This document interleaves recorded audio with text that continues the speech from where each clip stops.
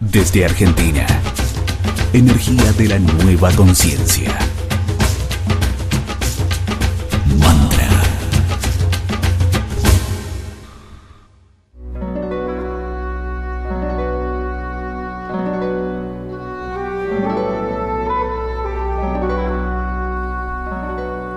Episodio 1 con el concierto de Aranjuez en la clave tonal del maestro Saint Germain y aquí una- un portador de su voz, de su enseñanza, Rubén Cedeño en Argentina, a quien, bueno, ya oficialmente le damos la bienvenida. ¿Cómo estás? Muchas gracias. Muchas gracias. La verdad es que me emociona mucho cuando oigo la llave tonal del maestro Saint Germain. Ay, sí. Porque me recuerdo en los años 60, cuando nadie hablaba de Saint Germain, este, no era popular en Latinoamérica. Y nosotros ya en Caracas escuchábamos esta llave tonal, era como algo muy nuevo. Claro. ¿Verdad? El concierto de Aranjuez de Joaquín Rodrigo. Eh, y la verdad era que sentíamos la presencia de San Germán desde ese entonces. Todavía la seguimos sintiendo.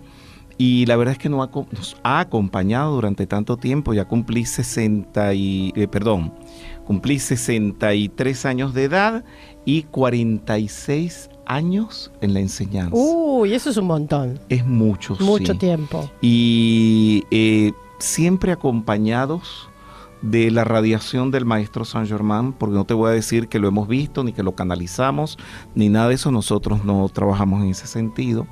Nuestro trabajo es práctico. Lo que hicimos fue, eh, Connie Méndez, cuando la conocí precisamente, ella estaba empezando a traducir el libro de oro, lo hacía con su secretaria Katiuska, y ella se sentaba, Connie Méndez era traductora simultánea, y entonces ella leía el libro en inglés, pero lo hablaba en castellano. Cuando digo era tradu- traductora simultánea, no es que Connie Méndez trabajaba de eso. Connie Méndez era una mujer multimillonaria, nunca trabajó en su vida, pero tenía esto porque ella había nacido en un hogar que la llevaron desde los siete años a vivir a Estados Unidos y tenía el inglés como lengua materna. Entonces ella podía traducir simultáneamente y yo estaba allí al lado de Connie Méndez todos los días y pasaban todo el día trabajando yo escuchando las traducciones y cómo se traducían las palabras. Por eso que hoy en día he podido seguir en el trabajo de no traduzco, pero sí soy el que aconsejo cómo se traducir tantas estas palabras y otras palabras. Pues me acuerdo Connie Méndez decía, esta palabra en inglés en castellano, según dicen los maestros, significa tal cosa y es lo otro.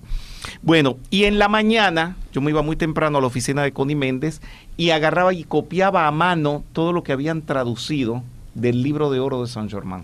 Era, Es- ¿Eras en esa época, tú estabas como muy afín a, a todo el trabajo de Saint Germain o no? Siempre Digamos, he estado afín, siempre. o sea, nunca me he separado. Bueno, pero la primera vez eh, cu- cuando conociste la existencia de Saint Germain, a lo mejor era toda una curiosidad que despertaba en ti, eh, no sé cómo lo viviste. No, tú. nunca. Yo nunca, yo no entré a la metafísica por curiosidad espiritual, ni porque yo estuviera queriendo tener a Saint Germain. Yo admiraba a Connie Méndez porque cantaba por televisión canciones eh, populares que ella componía. Y mi madre era fanática de ella y así fue como me uní a Connie Méndez por la parte de la música, como artista de la farándula. Connie Méndez era farándula, farándula en Venezuela, una artista muy famosa y nadie sabía que ella tenía una parte espiritual. Fue cuando la conocí que descubrí que tenía la metafísica y yo dije, yo quiero saber de eso. Ahí me enteré del maestro Saint Germain, pero tampoco era algo que yo aspiraba ni que yo sabía. De, de Saint Germain no se sabía nada, muy poco. No es como ahora que hay tanta información. Entonces, Connie Méndez, lo primero que se sabía de Saint Germain era el- libro de oro. Connie Méndez lo tenía en inglés, era la única copia que había en Venezuela y no sé si en Latinoamérica, y se iba traduciendo. Cuando esto estuvo se terminó de traducir, pues por supuesto se editó. Años más tarde, eh, descubrí que Saint Germain tenía más libros, ocho en total, y entonces ya Connie había desencarnado y estaba yo en Monchasta, en un hotel, mirando Monchasta, cuando yo no canalizo, yo no veo, yo no soy clarovidente, yo no tengo percepción extrasensorial de nada, Nada. pero de nada, absolutamente nada. Yo soy como esta mesa. ok. ¿Y como yo? Ah, bueno, mejor, estamos muy bien. Bienvenida al club. Ok, bien. Y estoy mirando Monchasta y en el centro de mi cerebro, como si fuera un pensamiento mío, por eso que te digo que no fue canalización ni nada, traducir toda la obra de San Germain. Pero y Connie Méndez sí era, era canal. Connie jamás. ¿Tampoco? Connie no era medium. Nada de nada. Connie Méndez no era medium y sus libros no son producto de la mediunidad. ¿Y de producto ni de el qué son? De su inteligencia, de su estudio, de su razonamiento. Los libros de Connie Méndez ¿Y surgieron. de dónde salen todas esas enseñanzas? Esas- la- Bien. los decretos, la, la- el mantra de la nueva era y todo eso. Connie Méndez era esta única mujer de la alta sociedad, multimillonaria, María, dedicada a la vida en sociedad, en el, los country club de todas partes y todo esto. Y eh, conoce la metafísica en la Segunda Guerra Mundial, que se quedó trancada en Nueva York, no podía salir, y en un barco milagrosamente se pudo salvar, venirse a Venezuela, y allí conoce a la señora Pitié, quien le regala el primer libro de Emmett Fox. Y con el libro de Emmett Fox, que fue su maestro de metafísica, ella se va a Venezuela, fue el libro La llave de oro. Cuando termina la guerra mundial, estamos hablando del 45, ella regresa a Nueva York y en el Carnegie Hall de Nueva York conoce a Emmett Fox y ahí se le pega, como quien dice, a Emmett Fox, termina aprendiendo todo esto y luego en los años 60, Connie Méndez viviendo en la Quinta Avenida de Nueva York, conoce las enseñanzas de Saint Germain porque va a la librería Samuel Weiser de Nueva York, donde compra un libro de Saint Germain que tiene toda la instrucción, es el libro Séptimo Rayo. Y ¿Quién escribe ese libro? El ese libro es de Saint Germain personalmente. Ah, él mismo lo, lo plasma. O sea, en Estados Unidos hay una como una colección de libros escritos por el maestro Saint Germain. Los primeros libros fueron a ¿De qué año son? publica- o sea, los primeros fueron entre los en la década de los 30 con Guy Ballard, que es el que tiene la primera experiencia en Mount Shasta con el maestro Saint Germain. Entonces fue anterior a esa época, el, digamos, que se escribe el libro. Son los años 30. Sí. Connie Méndez descubre las enseñanzas del maestro Saint Germain en los 60. Sí, 30 años. En los años 30 es Guy Ballard el que da comienzo a todo esto en Mount Shasta, donde en una fuente que está en la parte de arriba de Mount Shasta, siempre voy a esta fuente, él va a tomar agua a la fuente y ve reflejado en el agua la presencia del maestro Saint Germain. De ahí se desprende toda la instrucción que básicamente es el conocimiento del yo soy como una actividad para ponerle en uso. Luego la llama violeta y después el conocimiento de algunos maestros Rubén, más. Guy Ballard era, era medium. Guy Ballard, medium en el sentido actual de mediunidad, Canal. no lo era, canal. tampoco. Bueno, ¿qué, es, ¿Qué era entonces? Ok, les voy a explicar. Él lo que tenía era el rayo de luz y sonido. Pero no era medium, ya te voy a explicar por qué. Porque no era que él entraba en trance y él veía y escuchaba solo. No. Él se paraba en el podium, se paraba en el escenario y delante de él se escribían en letras de fuego que lo podía ver todo el mundo lo que el maestro Saint Germain quería decir. Y él lo que hacía era leer. Pero así como él lo estaba leyendo, lo leía todo el mundo. Qué fuerte. Era algo mágico, totalmente mágico. y más Por para la época. Para la época de haber sido. Por eso se reunían hasta 16 mil personas. Mira, ni para la época, pues eso no- ese fenómeno nunca se dio. No. Eso fue un fenómeno que se hizo con Guy Ballard, después con Geraldine Innocenti y la última fue Lucy Little John. Tres personas nada más.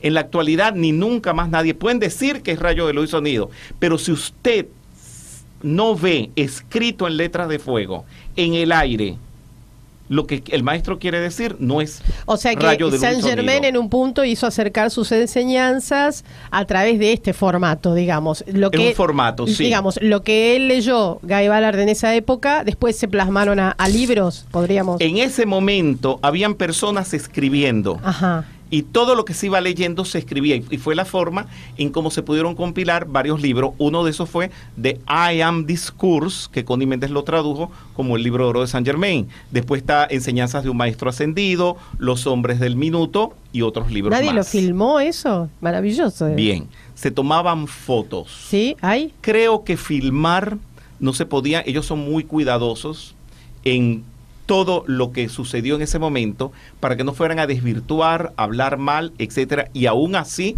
pues los calumniaron bastante les trataron de hacer daño, pero no pudieron. Igual es mucho lo que escribió Saint Germain en Fuego en el Aire para que se hagan libros. Pero fueron 10 años. ah, 10 años continuos de este tipo Desde de que se contacto. conoce a Ballard con Saint Germain hasta que él des- desencarna fueron 10 años de trabajo. Wow. Bastante importantes. Bien, entonces Connie Méndez, estando en Nueva York en los años 60, se conecta con esta literatura. Connie Méndez me habla a mí, porque no le habló a más nadie, durante, fueron también 10 años que yo estuve al lado de Connie Méndez. Ella me contaba una famosa vivencia que tuvo durante dos años en la Quinta Avenida, donde ella estableció contacto con Saint Germain, pero no era mediunímico, era personal Como personal, se sentaba así como estás tú de ahora. tú a tú y conversaban de tú a tú.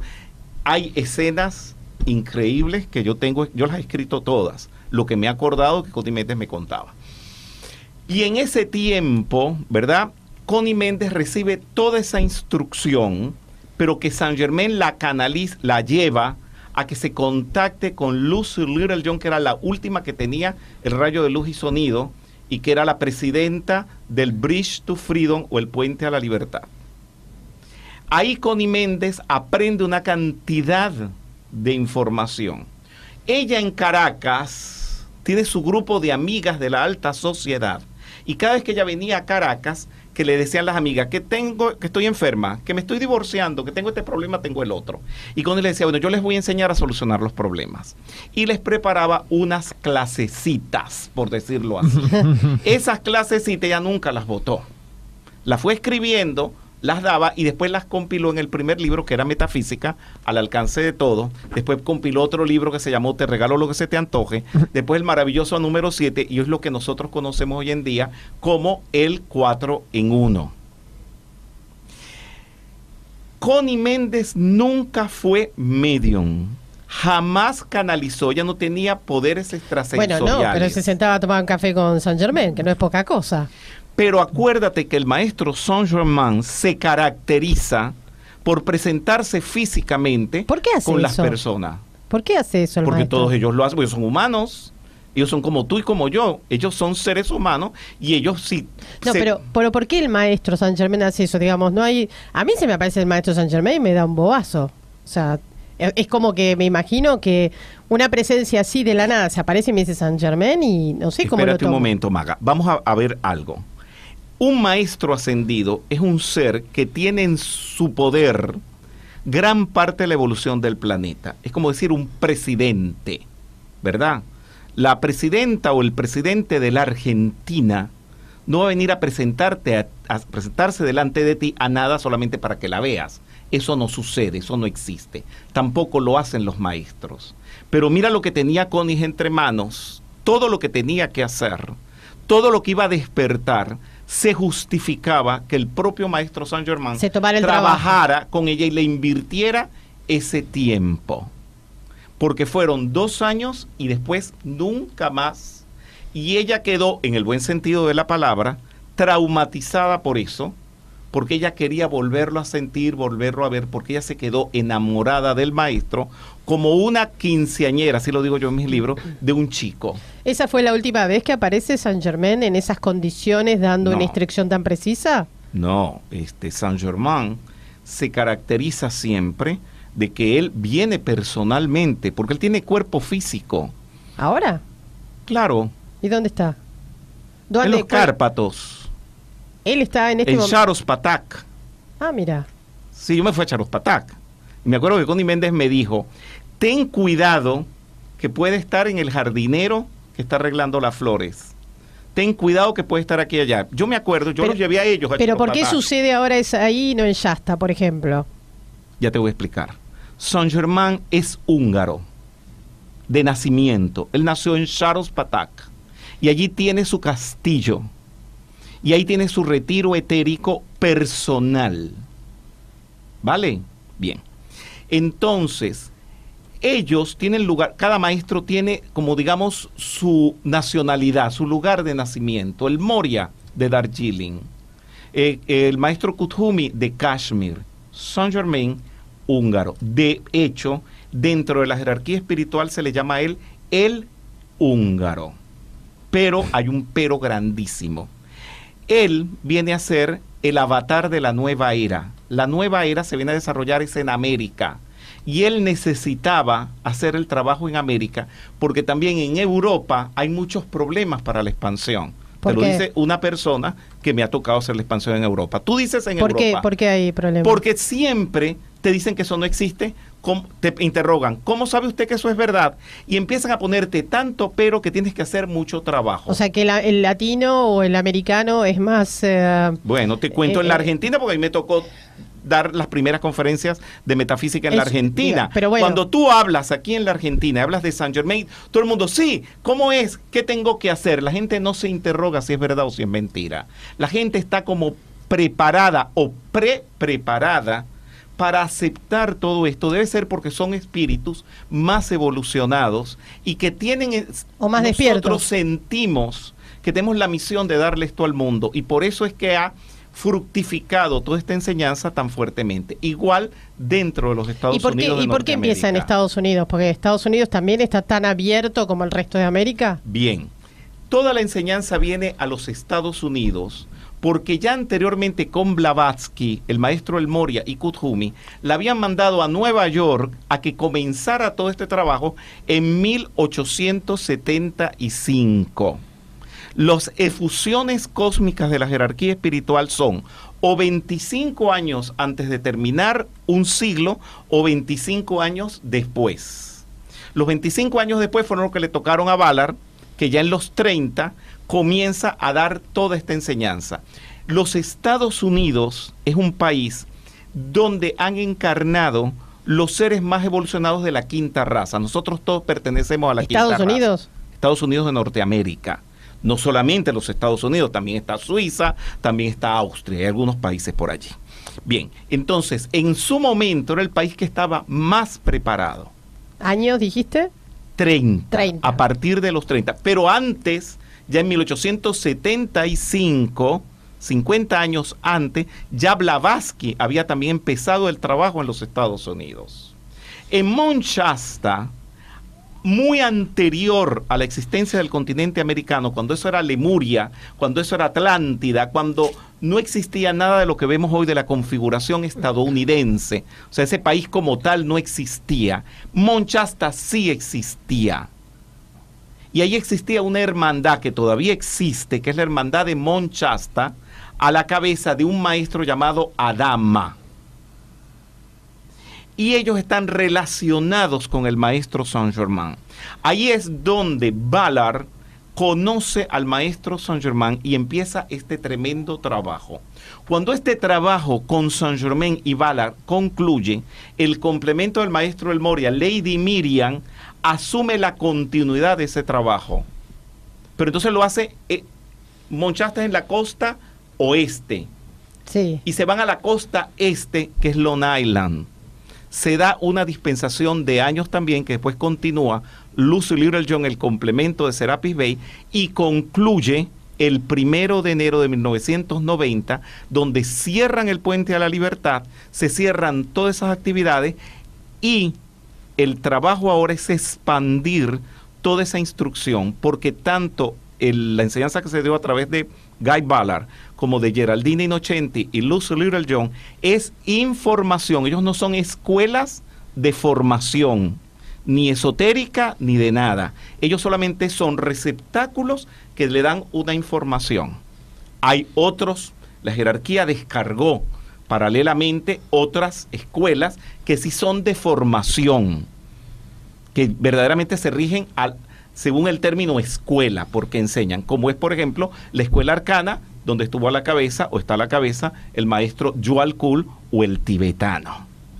¿Me comprendes? Entonces, Connie Méndez cuando empieza su trabajo, es, ella sí es escuela. Ella llama a las personas que dan la instrucción metafísica maestras y da una forma de cómo instruir a la gente. Eso fue evolucionando hasta tal punto.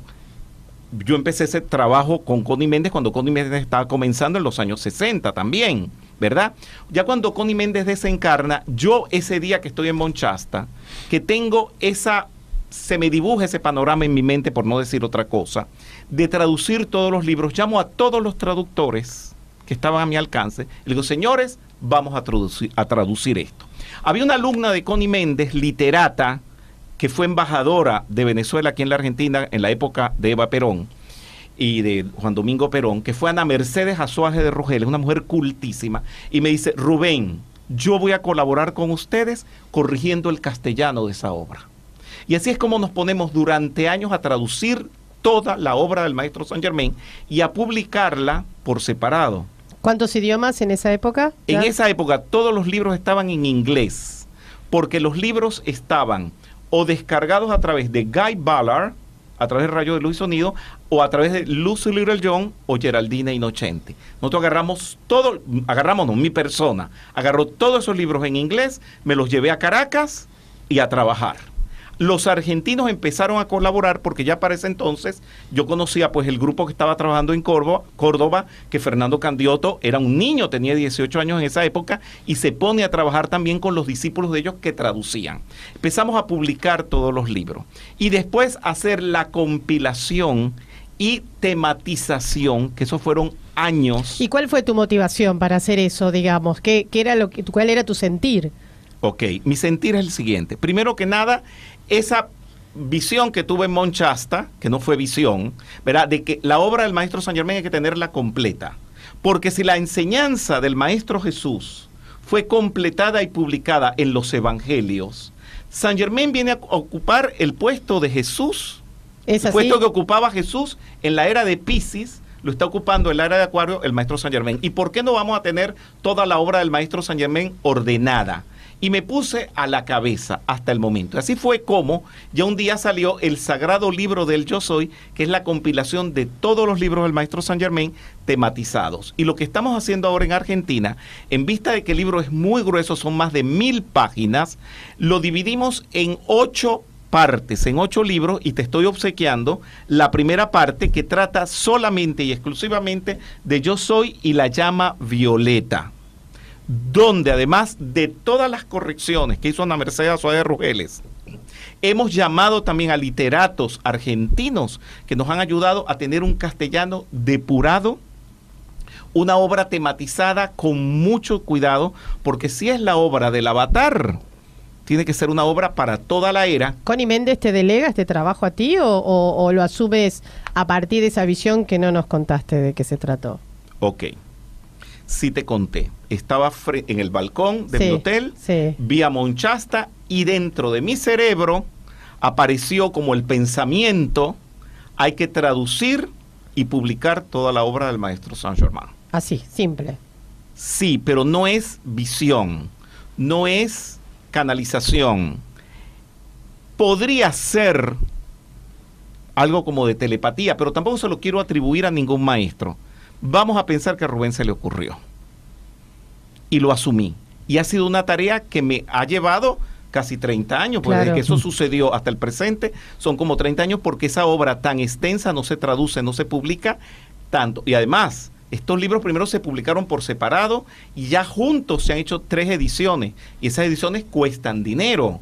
Ahí van miles y miles de dólares metidos que se hace que con el resultado de la venta de esos libros, aquí nadie se beneficia. Rubén Cedeño no agarra un centavo, Fernando Candioto no agarra nada y todo el dinero que se recupera va directamente para la reedición de estos libros porque se hace con una visión altruista de que la humanidad pueda tener todo este material. ¿Podrés ponés ponernos en el lugar de libros sagrados para Son los libros sagrados.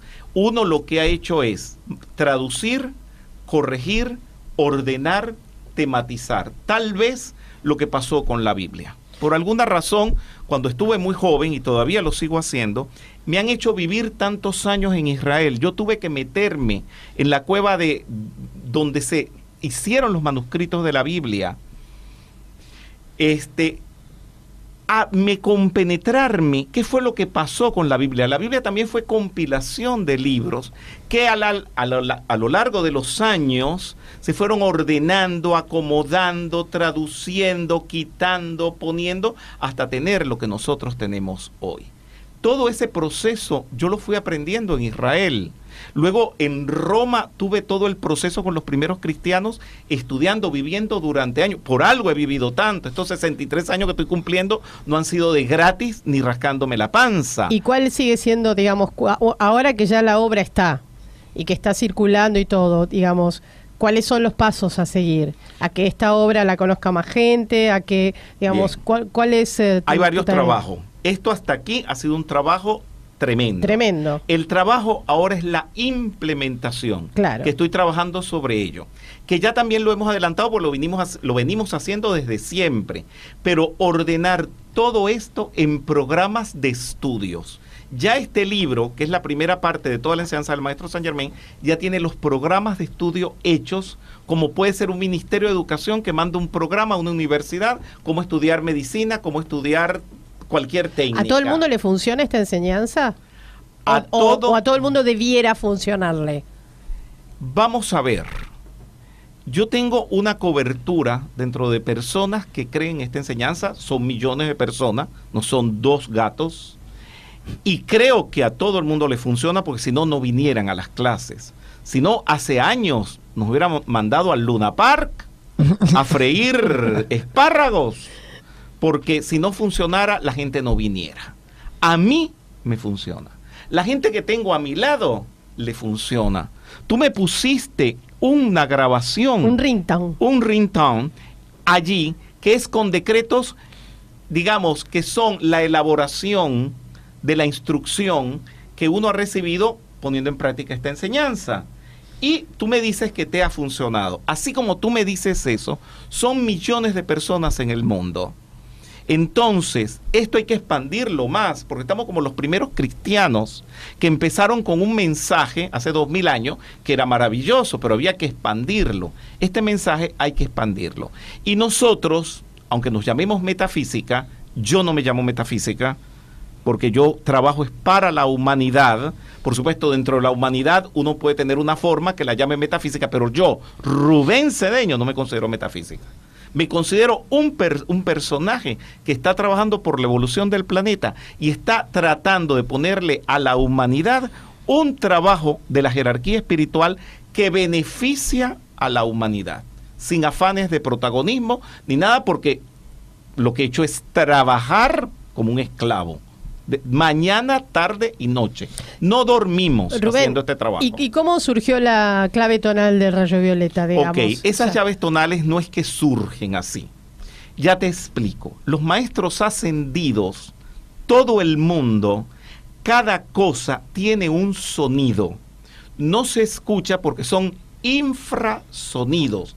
Esto suena, esta mesa suena, pero son infrasonidos. Los perros tienen capacidad de escuchar infrasonidos y por eso hay pitos que les tocan, que no se oyen y los captura el oído del perro porque son capaces de oír ciertas frecuencias de infrasonido.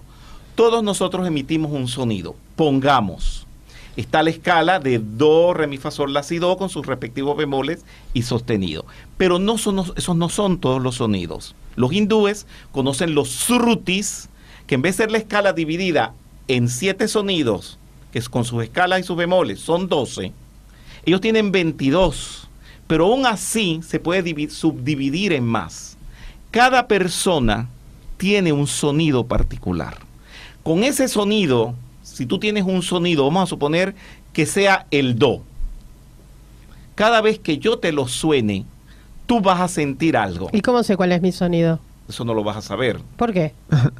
porque no lo sabes y nadie lo sabe. ¿Y no hay manera de saberlo? Esto es alta física. Si eso se llega a saber, se pueden hacer desastres. Bueno, hay problemas ahora con el sonido. Hay armas con sonido. Espérate, ya va. ¿Alguna vez tú has escuchado un órgano sonando, sobre todo los órganos, que suena una nota muy grave y tú dices se me está revolviendo el estómago? Mm. Pues te están tocando la llave tonal del estómago. Ah. Hay sonidos que te hacen vibrar las coyunturas de los huesos, porque te están tocando un sonido afín a eso. Si alguien conoce tu sonido, tú no, primero que nada no deberías decírselo a nadie, pues te pueden enfermar, te pueden hacer mucho no daño. me digas.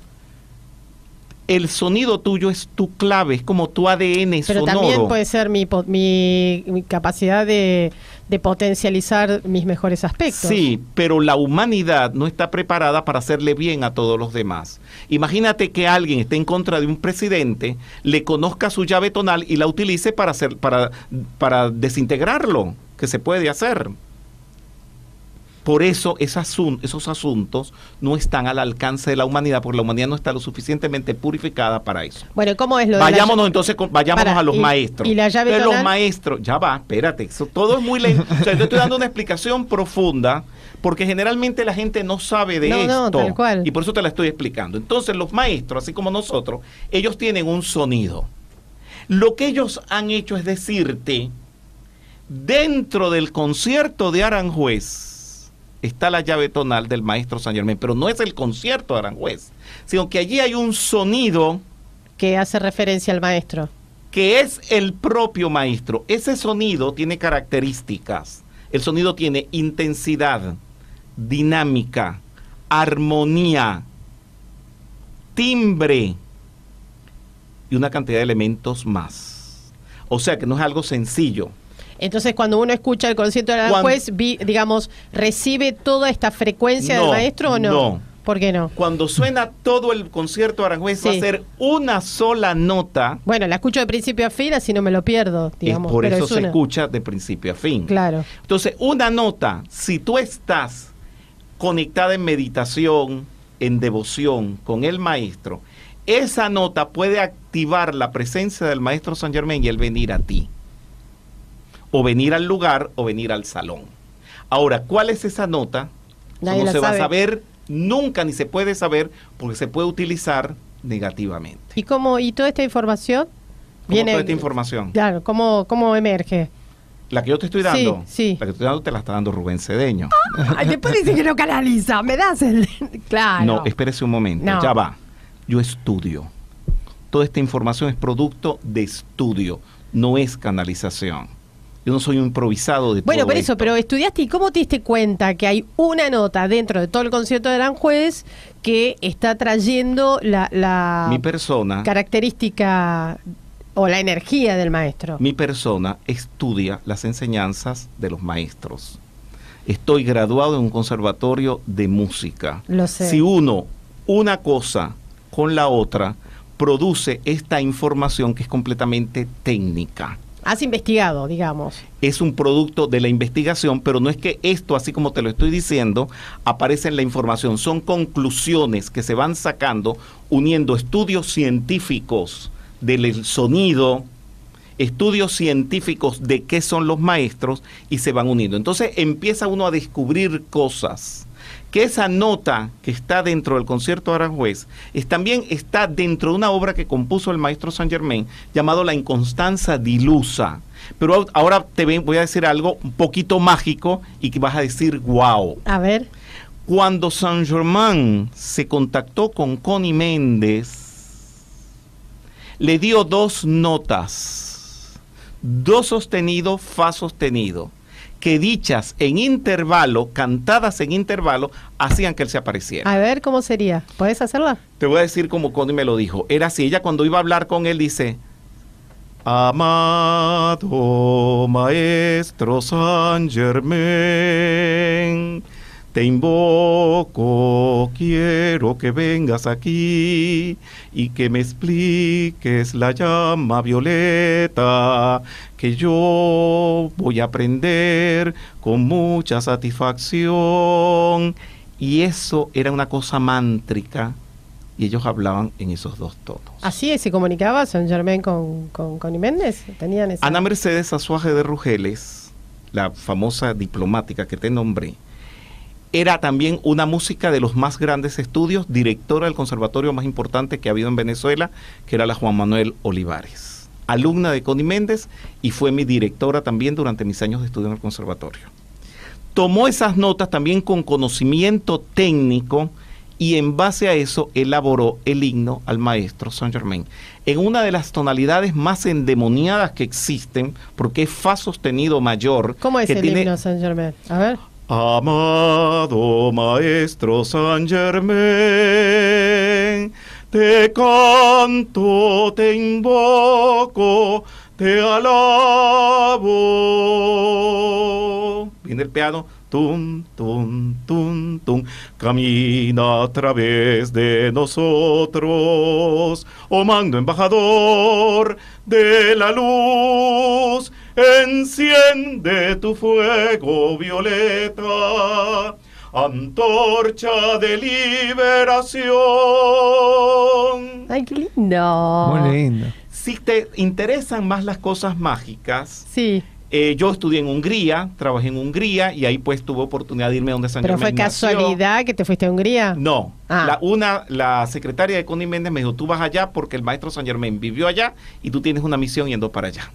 Me gradué en Hungría, en el Conservatorio de Hungría, pero tuve oportunidad de ir mucho a Patak y descubrir todo. Después he vuelto y un día que fui con ellos, no hace muchos años, óyeme esta historia.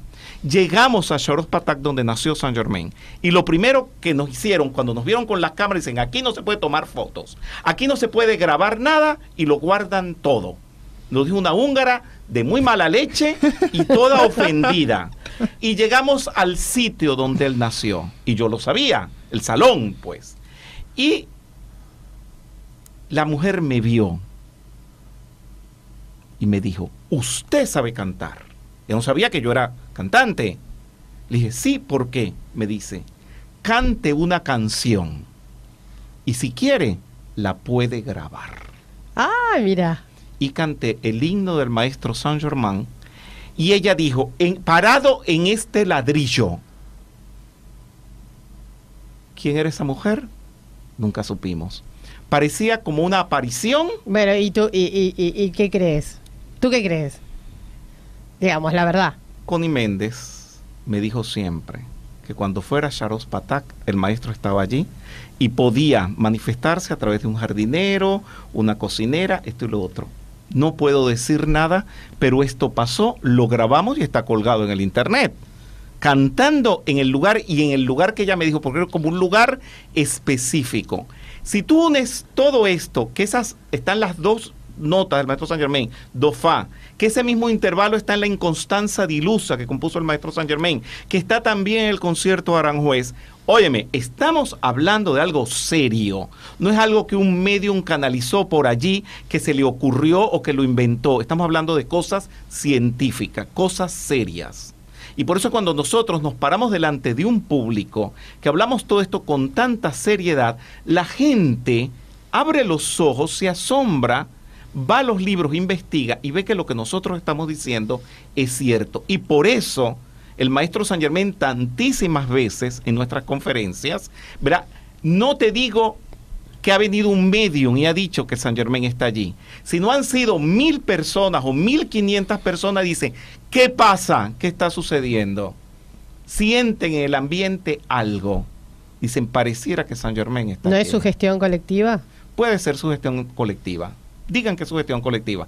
Pero de que se siente, se está sintiendo. Ahora, el día que nosotros vimos a San Germán en Monchasta no fue su gestión colectiva. Porque yo agarré y me puse con las notas del maestro San Germán a llamarlo arriba en la cumbre de Monchasta. A ver cómo lo hago. ¿Cómo lo haría? Mañana. Amado maestro Maestro San Germán, Germán. ven aquí. Sí. Y entonces le eché un regaño. Mm. Porque fue el día, fue el día que se cumplían los 70 años que San Germán se le había parecido a Varar y yo me fui para allá a ver si pasaba algo.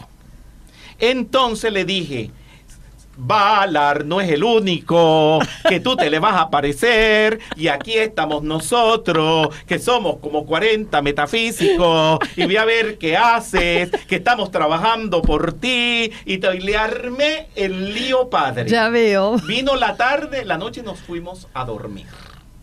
Al siguiente día nos levantamos, yo me estaba quedando en la habitación de San Germain, en el, en el Hotel MacLeod, en el, pueblo de Shasta, en la misma habitación donde San Germain hablaba con Guy Ballard. Nos levantamos, nos vestimos y nos vamos a desayunar. Entramos a esta calle principal de Monchasta, que tú conoces, cuando digo en venezolano, A ver. Y veo, este, veo a San Germain y le digo a Juan Rodríguez, que es el director de la metafísica en Nueva York, y digo, carajo, qué bolas tiene este tipo. venirse a disfrazarse de San Germain en pleno Monchasta. Y me dice Juan Rodríguez, ¿cómo? Míralo, ahí va. Pero él venía manejando. Damos la vuelta, atrás venían como ocho o nueve autos repletos de metafísico, que por supuesto al nosotros dar la vuelta y estacionarlo, todo el mundo lo hizo porque todo el mundo había visto al tipo. Nos bajamos y cuando nos bajamos viene el tipo, mira que le digo el tipo, cuando lo veo, es que era San Germain.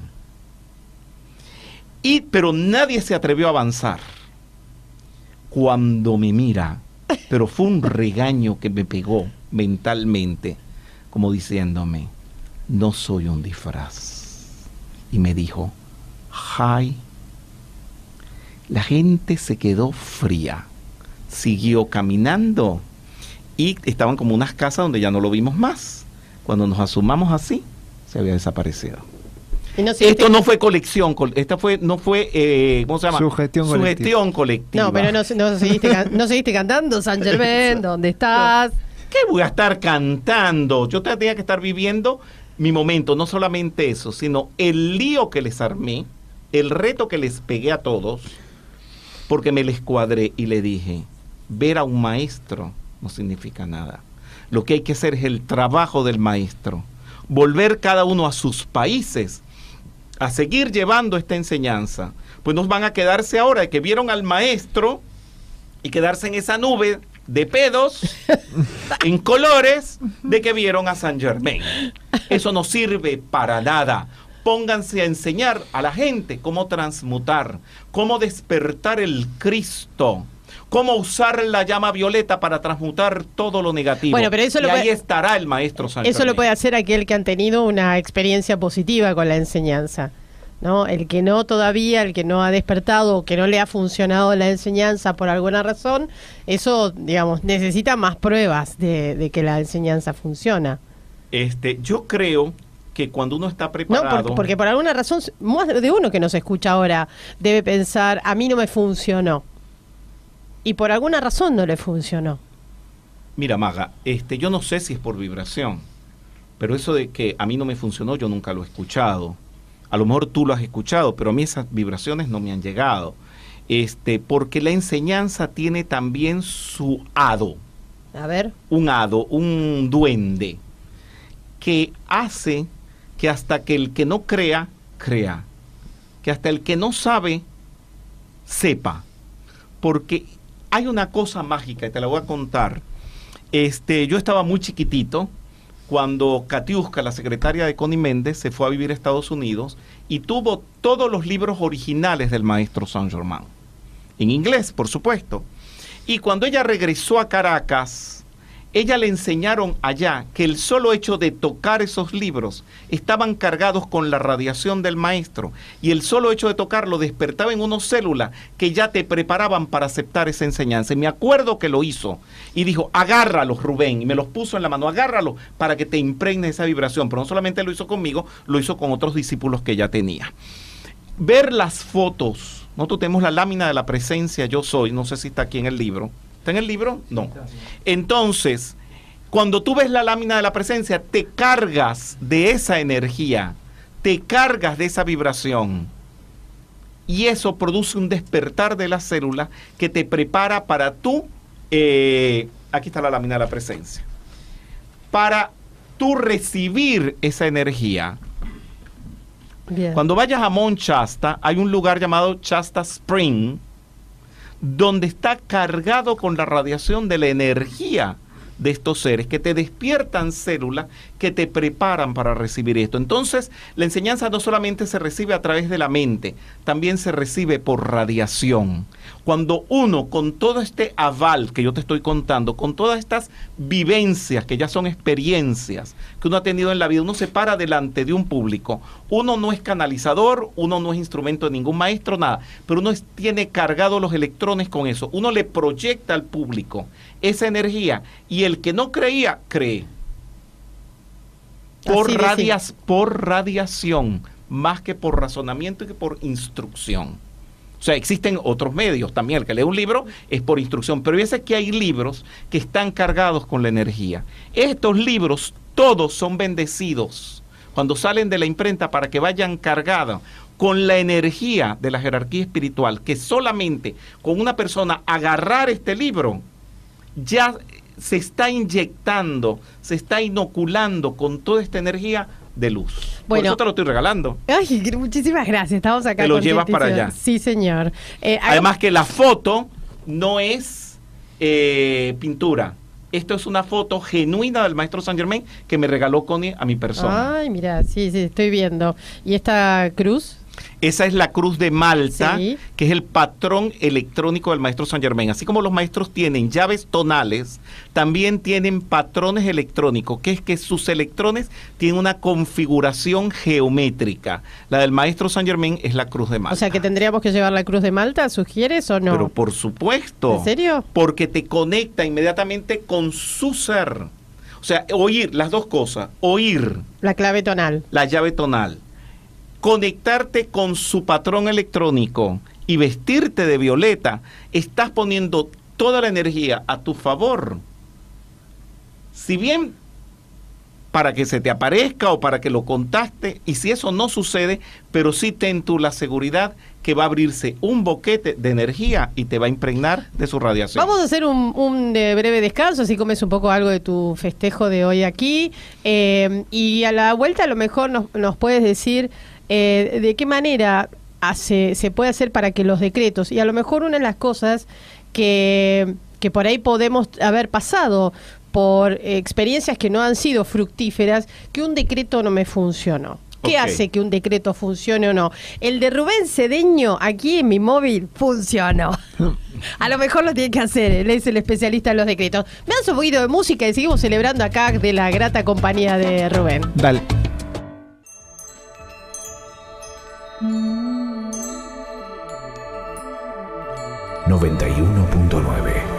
Mantra FM.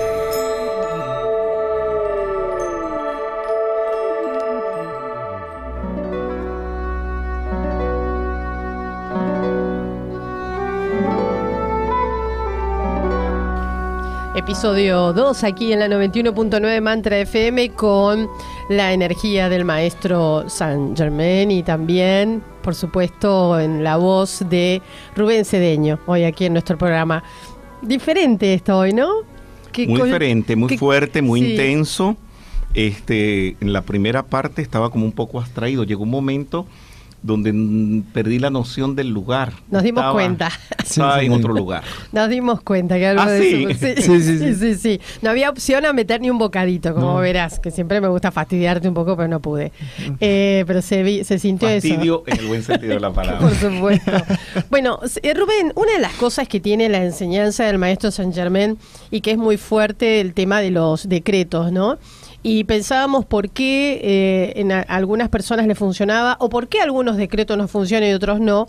Y aquí uno de los oyentes preguntaba cuál es la relación también entre el decreto y el karma, ¿no? Sí, el decreto y el karma están íntimamente relacionados. Cuando usamos un decreto es porque indudablemente tenemos una situación que resolver.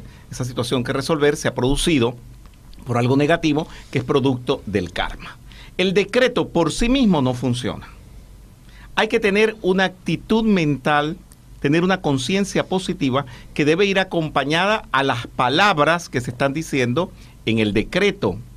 Luego, después de hacer el decreto, no se puede hacer referencia nunca más a aquello que se tenía. Si una persona tiene un cáncer y hace el decreto para eliminar el cáncer, no puede hablar más nunca del cáncer y seguir diciendo, este cáncer me está matando, el dolor de este cáncer, Claro. porque cada vez que lo haga, Lo desarma. está desarmando el decreto y está reconstruyendo la energía negativa de ese mal karma del dolor del cáncer. ¿Me entiendes? Entonces, ¿qué tiene que hacer el decreto y Ya va, soltarlo? espérate un minuto. Hay más y es más pesado. A ver. Si el karma te está viniendo porque le echaste una maldición a alguien, no tú, otra persona, no lo va a personalizar en ti. Esa persona le echó una maldición a alguien, le dijo, ojalá te mueras. Ah. Ojalá te arruine. La gente lo vive haciendo en la calle. Cuando chocan dos autos, ve los dos conductores, las maldiciones que se echan o los pensamientos que se tienen. Bueno, pero haces un momento de bronca, no lo haces así de... Su- pero esa es una energía que se descargó está produciendo un efecto y es karma. O sea que cuando yo me enojo con alguien y pego un insulto, ¿cómo lo desarmo después? Tienes, primero que nada, aprender a no pegar el insulto. Bueno, pero ponele, se me escapó. Dices, yo recojo toda esa energía, Esa la transmuto y la disuelvo con la llama violeta y pido perdón. Y si puedes pedirle perdón a la persona que le pegaste el insulto, mucho mejor todavía, para que no crees karma para el futuro. Entonces aquí viene el asunto del decreto. Si tú puedes hacer el decreto, pero si tú no has disuelto esa energía de esa maldición que echaste, ese mal deseo, pues si la gente vive deseándole mal a los demás. Nosotros en la metafísica no le hacemos mal a nadie. Hay gente que se viene a nuestros grupos a querernos destruir a nuestro grupo. ¿Por qué? Porque les da la gana, porque tienen envidia, quieren cogerse los discípulos nuestros, quieren, no sé, envidia, maldad, eso ha existido desde la Atlántida. Siempre ha ¿Y existido la tu, maldad. ¿Y cuál es tu actitud frente a esas situaciones? Perdón, porque si uno reacciona, ¿Que no se te infla la vena? a todos se nos infla la vena. ¿No te, no, no te fastidia que alguien venga Sí, a, a quitarte gente? Lo hace, se ha, sucede.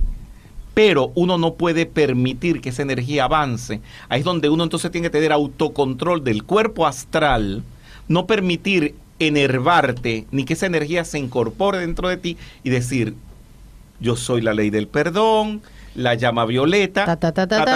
Entonces, ¿qué es lo que pasa? Para que un decreto funcione, mira todo lo que tienes que tener eh, eh, en, funcionamiento allí. No decir nada negativo respecto a lo que quieres transmutar. Tener una actitud completamente positiva perdonar el mal karma que creaste que produjo eso. Por eso cuando uno va a un hospital, y uno le presta servicio a los enfermos, que lo hacemos a diario, lo primero es decirle que toda la bronca que haya tenido con familiares, amigos, etcétera, que tiene que perdonarlo para que pueda comenzar un proceso de curación y los decretos puedan funcionar. A mí me ha pasado más de una vez que he tenido accidentes graves de que se me han quebrado hasta huesos y me he puesto a buscar la causa, la he encontrado, he pedido perdón y cuando ha llegado el médico el hueso se remienda en horas. Porque cuando uno va a la causa, la transmuta y la disuelve, entonces el decreto comienza a funcionar a las mil maravillas. Entonces no es hacer el decreto deportivamente, olímpicamente, Bueno, pero- porque si no, no funciona. Entonces, yo suponiendo que quieras hacer un decreto que tenga que ver con, no sé, con un- tu trabajo, ponele. Pero yo por ahí cometí el error de insultar o enojarme mucho con otra persona que nada tiene que ver con mi trabajo. ¿Eso sería freno? O sea, esto, ¿eso es- estaría actuando de freno para que mi decreto se materialice? toda energía mal calificada, con odio, con rabia, división, ataque, fragmentación, todo eso va a afectar todo tu es- toda tu estructura de mal karma en tu vida. ¿Y por qué, digamos, en este caso la llama violeta no te protege de que estos personajes que van a tus charlas a sacarte gente no aparezcan? ok. ¿No? Porque de eso no me digas que no te llena de bronca. O sea, hay, eh, hay situaciones que se dan, a nosotros incluso también en la emisora, vamos a decirlo, también pasan cosas que salen de la ética y vos decís, bueno, no, lo dejamos correr, miramos para otro lado y lo ignoramos. O, y- Ignorarlo jamás. ¿No? ¿No hay que ignorar? Esa es una energía que se está descargando y te la están dirigiendo a ti. Tú tienes que transmutar esa energía y protegerte para que esa energía no te invada, no penetre, porque esa energía puede encontrar un agujero en tu aura a través de tu propio odio, abres agujero y por ese agujero se mete el odio del otro que te lo está mandando, viene, invade y te destruye todo. Pero si lo ignoras, ¿no es lo mismo? Porque no tiene peso, no tiene, no tiene ignora que hay sífilis, que hay cáncer, que sífilis o, o algo eh, que, que contamine, ¿verdad? Que hay sida, ignóralo y ten relaciones sexuales con una persona que lo tenga. Eso no te va a impedir a ti que, te, que no te vayas a contaminar. Tú tienes que tener el conocimiento y tienes que usar el forro para que no te contamines. Igual como es arriba, es abajo. Uno tiene que protegerse. Bueno, Hay energías pero negativas. ¿y por qué si uno si uno se protege? Vuelvo a la pregunta anterior. Sí. ¿Por qué eh, si tanto llama Violeta, de golpe sigue apareciendo personajes así? Ok. ¿Que es una prueba que te pone Saint Germain? No. La protección existe y el mal en los demás también. lo que va a hacer la protección es ocuparse de tu corriente de vida para conseguir de que esa energía negativa no penetre, pero tú no puedes impedir que si el otro te quiere lanzar una energía para dividir aquí tu grupo o, tu emisora, o llamarlo a él para llevártelo para otra emisora, o llamarte una empleada para que se vaya porque le está ofreciendo más sueldo, sueldo, tú no puedes impedir eso porque esa es la maldad que tiene el otro. Tú lo que puedes hacer es protegerlo y también vacunarlos a ellos. Y decirle, señores, se los quieren llevar. Sí, a lo mejor van a tener mejor sueldo en otra parte, ¿verdad? Pero no van a tener el amor, no van a tener el cariño, ni trabajar con esta radiación. ¿Qué puede pasar? A lo mejor se van, pero entonces en el otro lugar los engañan, este, no le dan el sueldo que le iban a dar, este, les barre mal, una cantidad de cosas. Entonces tú tienes que hacer una aura de protección durante todo tu entorno, no solamente a nivel consciente, a nivel intelectual explicándolo, sino también a través de la oración, la invocación y los decretos, y eso funciona, de que funciona, funciona. Pero tú no puedes impedir que el mal que existe fuera de este círculo de protección exista. Qué interesante. Eh, también para el tema, bueno, de, como venías mencionando, el tema de las organizaciones, ¿no? Eh, se hacen decretos colectivos para que funcione mejor este esta protección? No todas las organizaciones lo hacen, solamente los que tienen conocimiento de esto. Este se protege, hay por supuesto protección y también sucede algo, y esto es un poco más mágico, pero existe.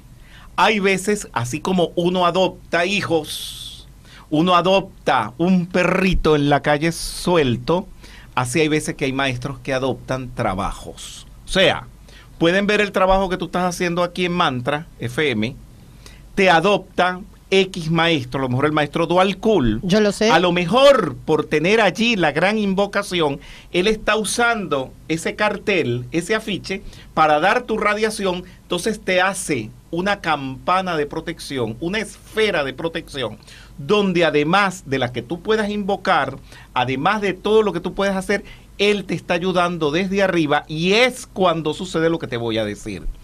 ¿Qué le pasa a Maga? Que aunque queremos destruirla, queremos acabar con su programa, no podemos. Como que hay una fuerza sobrenatural. Y a lo mejor esa fuerza te puede acompañar hasta el día que te mueras y el día que te mueras van a decir, nunca pudimos contra ella. Porque además de la radiación de tu ser, tenías una protección de arriba porque te adoptó un ser de luz, porque vio que tu trabajo era bueno, podía producir tales efectos y te protegieron como han protegido pues a seres en la vida que no les ha pasado nada. La Madre Teresa de Calcuta la protegieron toda la vida y se murió el día que ella le dio su gana. O sea que las adopciones en un punto, en este, punto, en, digamos, de la jerarquía con seres que están encarnados se dan por afinidad de trabajos o porque consideran que estás haciendo... No es afinidad. Es que ellos consideran que tu trabajo puede hacer un bien a la humanidad. Quiero decir que esto escapa a lo místico. Puede ser un presidente de una nación, puede ser un científico, un músico. Y dice, puede ser que no crea ni en Dios. El maestro dice, esa música de ese señor puede ser utilizada para dar una gran radiación. Y empieza toda la jerarquía a acompañar todos los conciertos de ese ser y ese ser toda la vida va a tener esa protección. Eso no es algo que podemos generar nosotros desde nuestro... No, esto viene de arriba para abajo donde uno no interviene. Nada. Es la pureza de uno, el trabajo de uno, y uno a veces hasta ignora qué produce eso. Y uno mismo empieza a darse cuenta, ¿y qué será que todos los que me quieren dañar no pueden hacerlo? Es donde uno empieza a sospechar, será esto, será lo otro. Y vienen por ahí, no falta el que te diga, ah, son tus protectores. ¿Qué quieren decirte? Que tienes una fuerza superior que te está envolviendo. Y hay personas al revés que por más que busquen esa fuerza, que por más que quieran, que dicen que canalizan, que dicen que están con los maestros y todo, no la tienen. A los grupos no le va gente. Si hay un incendio se les quema la casa, si hay un terremoto se les cae el techo. Y entonces dicen, bueno, ¿y por qué a mí no? Y al otro sí. Ah, bueno, investigate. Ve a ver cuánta pureza hay en todo lo que estás haciendo. ¿Pasa al revés esto también? ¿Que te adopten seres de más oscuritos? Eso ha sucedido toda la vida. O sea que también están esas protecciones. Entonces estamos hablando que hay una batalla campal Esa campaña, esa campaña, esa guerra es lo que se llama el Armagedón desde el punto de vista cristiano. Y también es lo que se le llama en el hinduismo el Kurukshetra, que plantea el Bhagavad Gita, que es la pelea entre las fuerzas del bien y las fuerzas del mal. Por supuesto, hay seres que están protegidos por el mal, esos eh, narcotraficantes que nunca los agarran, que hacen de todo y no les dicen, pero parece que gozara una protección, tienen su protección de la logia de las sombras. Bien, Rubén, antes de que nos vayamos, porque la verdad que se voló el tiempo, me gustaría que dieras a una persona que tuviera algún tipo de enfermedad, eh, ¿cómo debiera ser un decreto? Bien, lo primero ante toda enfermedad es comenzar a perdonar todo el mal que uno ha hecho. Y la gente dice, Ay, pero yo no le he hecho mal a nadie. Eso es lo que primero dice todo el mundo. No, sí hacemos mal. Siempre tenemos a veces pensamientos pequeños en contra de alguien. Decirle, Decir, perdono a todo aquel que necesite mi perdón, de todo corazón. Después ir a la enfermedad, en pensamiento, si es el hígado, el corazón, las rodillas, las piernas, lo que sea, la sangre, y decir, decreto que cada átomo de esta enfermedad salga de mí en este momento. Lo transmuto, lo disuelvo con la llama violeta transmutadora en este instante y no permito jamás que vuelva a estar dentro de mí y que no me haga ningún daño. Gracias Padre porque así es. Y no hablar de esto, de la enfermedad, ni del tratamiento con nadie para concentrar la energía y que no se disperse. Por supuesto, seguir con el tratamiento del médico hasta que el médico diga hasta aquí. Esto lo hemos visto, por ejemplo, con pacientes de SIDA que empiezan a utilizar la metafísica y le digo, sigan tomándose las pastillas hasta que el médico se las suspenda. Y curiosamente, hay un día en que el médico se las suspende. Bien, tengo una idea. ¿Cuál es? ¿Podemos hacer varios ringtones con tus decretos? Pero por supuesto que sí. encantó. Claro, ringtone para la salud, ringtone, ya lo vamos a hacer. Ahora, Rubén, eh, antes de que... Mm, queremos cerrar el programa con un decreto tuyo, obviamente, ¿no? Pero después de toda esta charla y de toda esta celebración, porque además estás en tu primer día de tu nuevo ciclo, eh, queremos coronarte. Gracias. ¿Nos permites? Sí, ¿qué van a hacer? ¿Nos, ¿Nos permites o no? ¿Cómo me van a coronar? Sí, bueno, está bien, yo espero que sea bueno. Ah, muy bien. ¡Ah! Mira. Por favor. Al rey de la metafísica. No te queda. Ahí está. Sí, tuyo, tuyo. Ahí está. Muy bien. mira. El rey de la metafísica, la verdad, Rubén. Siempre aprendemos tanto contigo que es un placer tenerte aquí con nosotros. Un gusto. Pues te voy a decir, unos dirán por allí, ah, no. Que es de oro blanco, ¿eh? Que yo no lo acepto, que no me lo merezco. Yo una vez fui a una reunión de escritores donde le están dando un homenaje a un gran escritor y le dieron una placa, ¿no? Y cuando se la entregaron, había puros intelectuales. Uno de los intelectuales del el, intelectual al que le cual le dieron el, homenaje, le dieron la placa, dijo, yo no me merezco esta placa. Y uno agarró y le dijo, quítensela. Uh. Ese día aprendí que cuando uno le dan una cosa, uno la tiene que aceptar y decir que no se la merece. Pues, pues pueden decir, quítensela. Así que no voy a decir que no me lo merezco, que esta corona es de fulano, es de Mengano. Es tuya. Gracias, es gracias. Es tuya, Gracias, ¿verdad? Tenés un poco grande la cabeza, pero te va. Te va. Ah, viste, viste, viste, viste. No, me la voy a guardar. Toda tuya. Bueno. Una vez en Caracas, la revista Cábala, muy importante, una revista esotérica, me nombró el príncipe de la metafísica. No sabes cuánto se levantó cuántas críticas, condenaciones. Uy, ahora te van a matar entonces. Ahora me irán a matar, ¿verdad? el rey Pero, de la metafísica. como dice el dicho, nadie me quita lo bailado. Esta corona no me la quitas nadie, porque me la diste tú. No, además. me la dio Maga. No, sí, sí, te la dio todo Mantra FM. bueno, queremos un decreto antes de que te vayas. A ver. Un decreto coronado. Coronado. Muy bien. vamos a hacerlo por la salud. Ahí que hemos estado hablando en el nombre de la divina y todopoderosa presencia de Dios yo soy, decretamos, afirmamos que toda célula, toda minúscula enfermedad que pueda haber en cualquier parte del cuerpo, en cada célula, en cada átomo, sea transmutado, consumido y disuelto en este momento con el poder transmutador de la llama violeta transmutadora y el poder del rayo verde de la sanación, de la salud, de la vida, para que solamente la vida, el entusiasmo, las ganas de vivir se manifiesten en todas las personas que oigan, crean y energicen este decreto. Gracias, Padre. Gracias. Gracias. Qué lindo, muchísimas gracias. Bueno, nos vamos a despedir acá con una fiesta por ahí, un poco la música esta que a ti tanto te gusta, que es la de Celia Cruz. Sí, le vamos a pedir que podamos compartirla. Veo que tienes mucha influencia caribeña. Sí. Eso es muy lindo. Para que te sientas en casa. Uno de los maestros de sabiduría dijo que en la música del Caribe había una energía muy especial que la humanidad todavía no había descubierto, pero que se iba a descubrir y que iba a ser utilizada positivamente. A lo mejor tú la estás descubriendo. Eso, ¿quién dice? Porque da entusiasmo, a través tuyo. indudablemente. sí. Gracias, eh. Gracias. Gracias, gracias a todos. Chao. Chau, chau.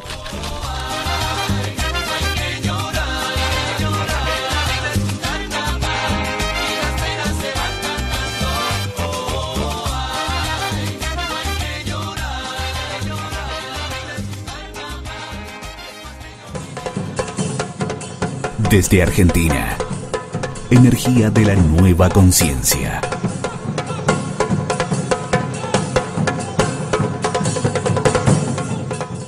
Mantra FM.